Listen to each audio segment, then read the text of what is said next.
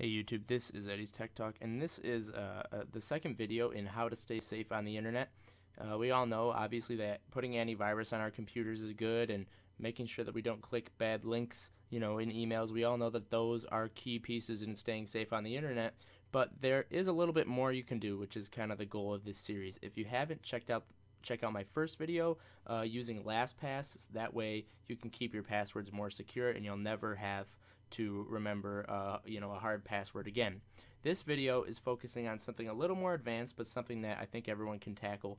Uh, it's adding Pi-hole to your environment. Now, what Pi-hole is, is it basically, uh, in technical terms, it's a DNS server that queries your DNS traffic uh, so that you can block ads. Now, in you know normal people terms, that's basically uh, a piece of hardware that you plug into your router and what that does is that blocks ads coming in at the network level and I kind of have a visual visual aid for this. So we have ads out here uh, you know like advertisements that you get on websites things like that. Those uh, just come into your network just like normal traffic and then that is then disseminated to you know your iPhones and your smart TVs and your your computers and any other internet connected devices that you have uh, these ads along with legitimate traffic you know things that you actually want to see are pushed to your devices. Now, in a perfect world, that's fine. You know, maybe you'll see an ad for something you like, but a lot of ads, even on legitimate sites like news sites or, you know, Facebook or things like that, a lot of those sites will lead to malicious links, lead to, you know, viruses and things like that because the sites that these ads appear on, those sites don't actually control what kinds of ads appear there. So even though you might be on CNN.com, the ad you you get is not from CNN, it's from someone else. So a lot of those, a lot of times, those will have viruses and things like that. So what we're doing today is we're basically putting a wall in uh, between ads and your network. So advertisements and those malicious things won't be able to get through to your network, but you can see here legitimate traffic can flow into your network and then out to your devices, and then traffic from those devices going out will also be able to flow. So uh, you know, there is a little bit of technical concepts here, but hopefully you guys, you know, can pick it up. This is really just what we're doing is putting in a wall for ads. So the first thing that you need to do is buy a Raspberry Pi computer. Uh, just Google it. You can buy one. I won't link it below because a lot of times the prices fluctuate quite a bit there. Um, but then once you get that Raspberry Pi, you're going to need an SD card, a micro SD card, and uh, with an adapter.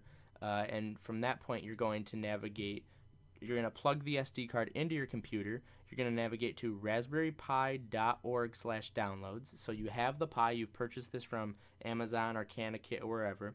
You have an SD card that you bought. It doesn't need to be particularly large. You plug that into your computer and you navigate here. And then you're gonna we're gonna get Raspbian. So you're gonna hit Raspbian.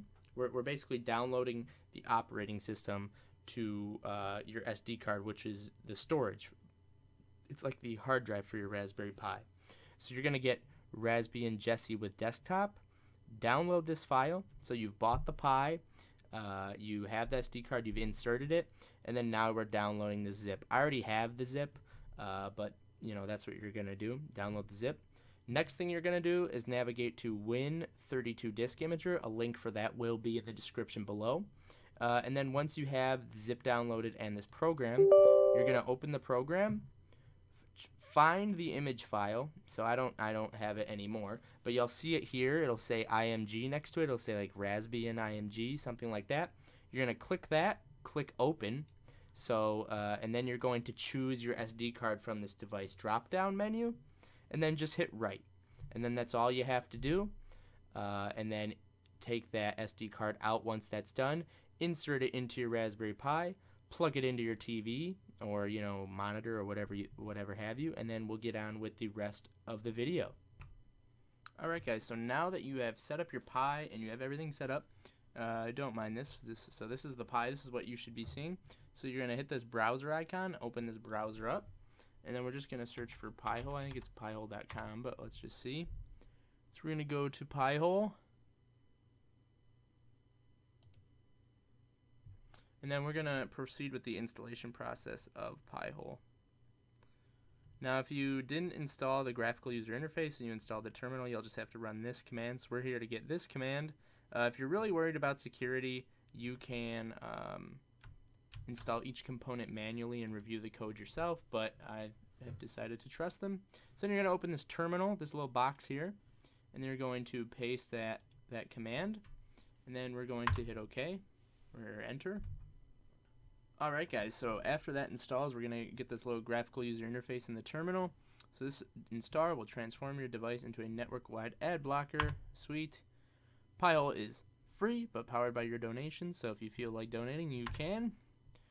Pi-hole is a server, so it needs a static IP to function properly. In the next section, you'll choose to uh, you can choose to use your current network settings, DHCP, or manually edit them. So we're gonna hit OK.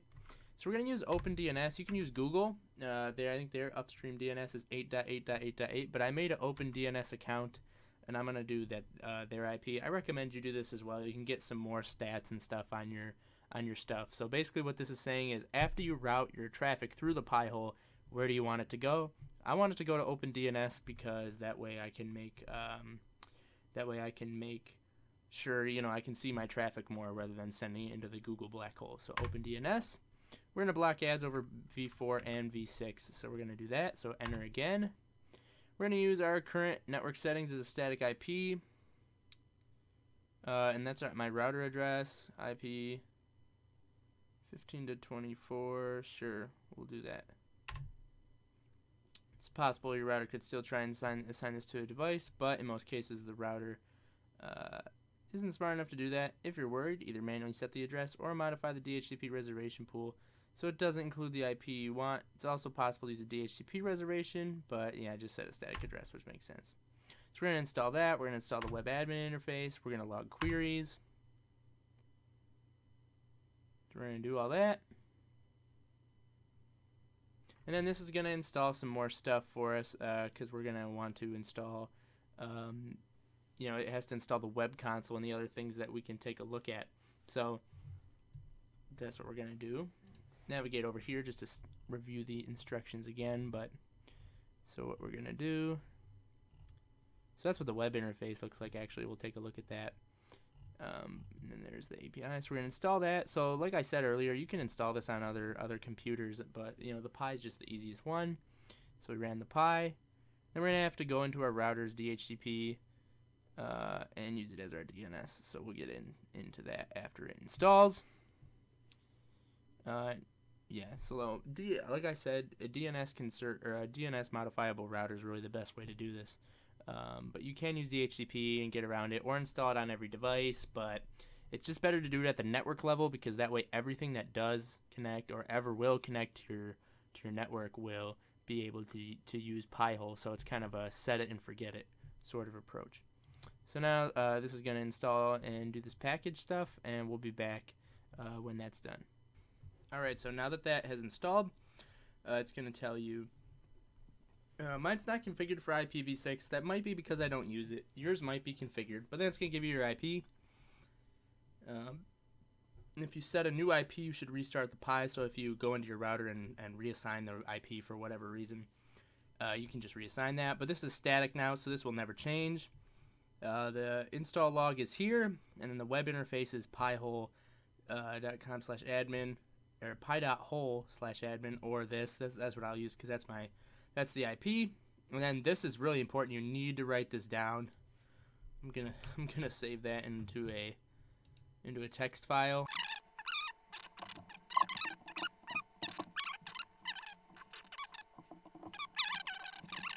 And then now we're done with this portion. So I can show you guys. So let's go to uh, well, what was it? Uh, we'll do that one. Pi, pi dot pi.hole slash admin. That's that's where I wanted. There we go. So Pi-hole admin, so we can see the web interface here. Uh, and we can see no queries. I don't know what 27 queries last 24 hours is, but no queries blocked. And then this is the block list. Basically, the uh, the way it works is it's just a curated list of blocked domains. So those are blocks. You can see little stats about your Pi, uh, load, memory usage, all that. And then we can log into the console here. we can see that this is running, but no one's using the Pi because, yeah, the Pi exists. um, and all that, but we're not we're not there. We're you know nothing is configured to go through the Pi. So this is where we need to bring our DNS router into play.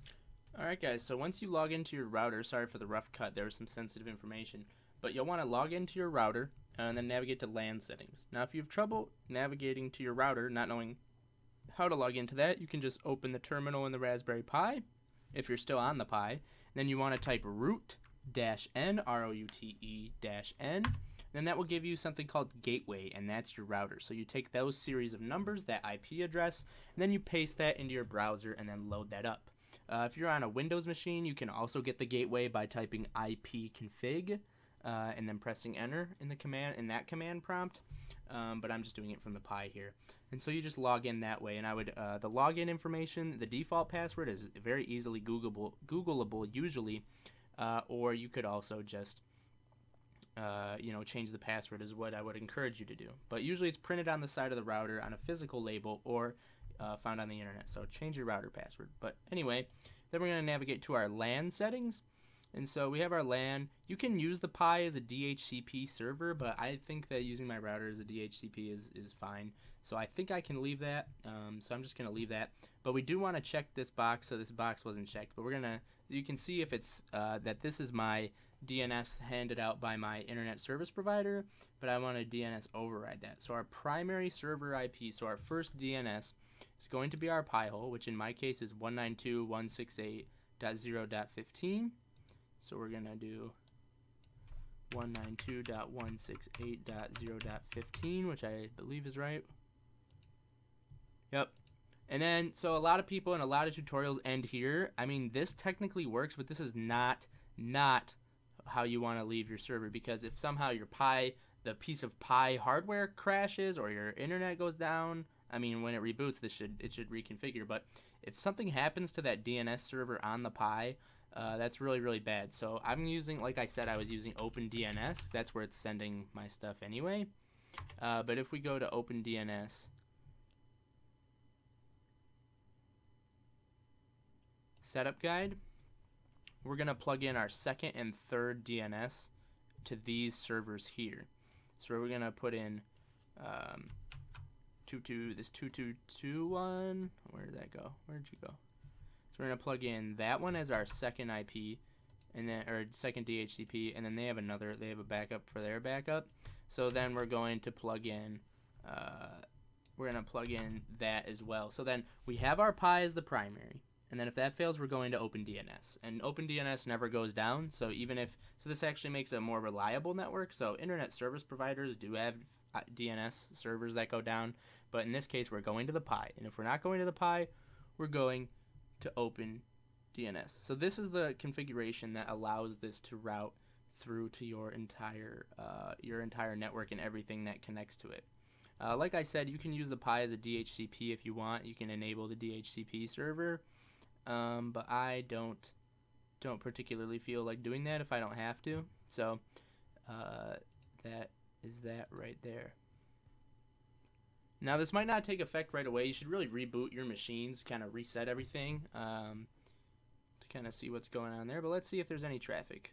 Yeah, so you can see that we we enabled it, and there's already uh, DNS queries and and stuff like that. You can see the scale 20 to 21. So that's been this is our our DNS scale in less than a minute here. So we can see a bunch of stuff.